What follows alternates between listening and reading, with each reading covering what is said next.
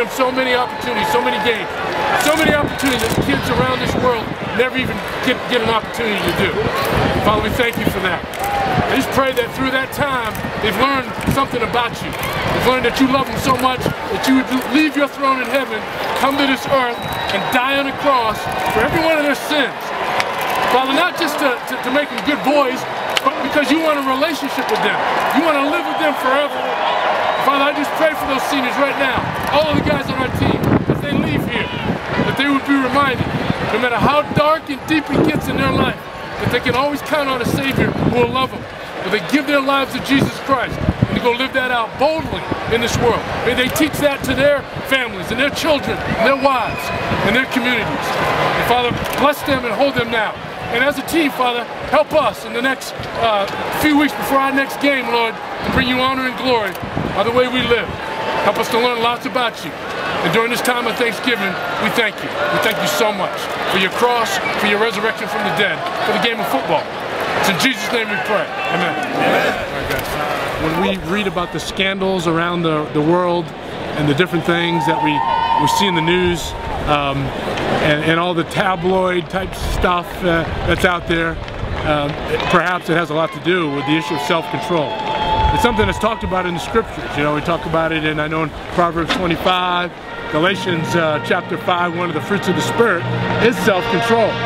And uh, the Bible says that if a man can't control himself, um, you know, it's like the walls of a city that would, that would crumble down. Um, it's, it's, uh, it, there's got to be something inside of us that gets us past our worldly appetites. And we all struggle. Every one of us has a gravitational pull. You know, Jesus was taken to the wilderness by the Holy Spirit, and what did Satan do to him? Well, the devil brought him up there, and he, and he tested his self-control.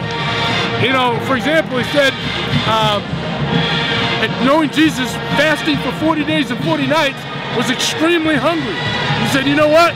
You're so powerful, you could turn these stones that we have up here into, into bread. And uh, Jesus said that man does not live by bread alone, but by every word out of the mouth of God. Well, would it have been so bad to turn stones into bread? He could have done it. I mean, he, he did a lot of miracles, things like that. Why didn't he do it? You know why? Because Satan told him to do it. It, it, was a fleshly desire. It wasn't something that was ushered from his heavenly father. How about another one? It says, uh, if you're really the son of God, Satan said, he said you can jump off the top of the temple, and, the and the scriptures even say that uh, the angels would be there to protect you, and you wouldn't get hurt. And, and Jesus said, you know, in essence, he was saying, yeah, that's true. But, but, but I'm not going to tempt the Lord God. I'm not going to test him. God didn't ask me to do that. That, that's coming from you. And then the third one, you know what? He showed Jesus all the powers and the kingdoms of the earth. And he says, you know what? You fall down and worship me, I'll give you all this. You know, isn't it interesting that Satan can give things that look good and powerful? Not all of your job promotions, not all of the benefits, not all of the extra stuff that comes in your life is from God. You gotta check it out. That's the thing that Jesus did. A man of self-control will discern where the goodies are coming from. He won't get bought off. And whether it's sex or whether it's money or power, fame, wherever it is, it's just like a football field. You know what? You, you, when you play the game of football, you can't hit people out of bounds. Hitting people and tackling people within the framework of the sidelines is a good thing.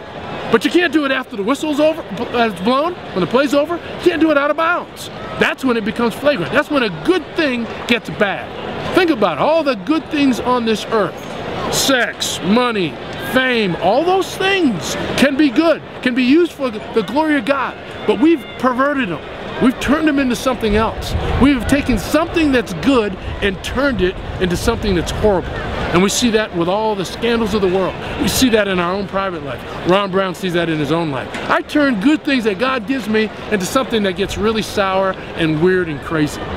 So what is the answer? The answer is, is the Holy Spirit wants to conform us into the image of Jesus Christ.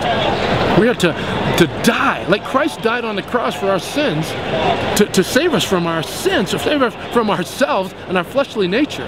But he rose again to give us a brand new life.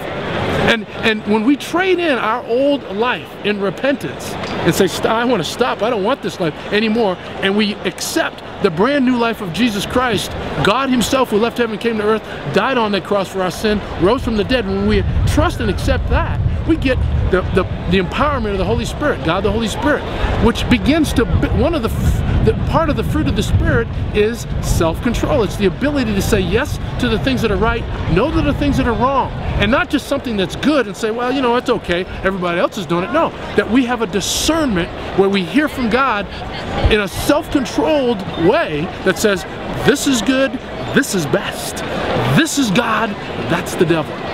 We got to have that discerning spirit. The scriptures tell us in, in Hebrews chapter 5 that that spirit of discernment is trained through lots of repetition. Do you know that God wants to put you through a lot of practice repetitions to develop the ability to listen to Him and allow Him to conform self-control in your life so that you can have the control. And self-control isn't just stuff that you do in front of your, you know, that you don't do in front of your internet, you know, you know, with pornography or something. That, that's definitely part of it. But it's also out on the football field when you want to give up, when you want to not run your sprints as hard as you should, when you start cheating a little bit here and there in, in our conditioning, when you start cheating a little bit in, in, in our income taxes, when you start cheating a little bit in our relationships. Yeah, yeah, when you start cutting corners. That's what God's talking about. He wants to train us and put us in tough situations sometimes to build our dependency upon Him so He can insert that all-important quality of self-control in our lives. It's a great opportunity this week for you as you're going through all kinds of scenarios in life to have your self-control radar up. There will be a barometer. I guarantee you, you will be tempted. You'll be tempted to say things, do things, think things, watch things that you shouldn't.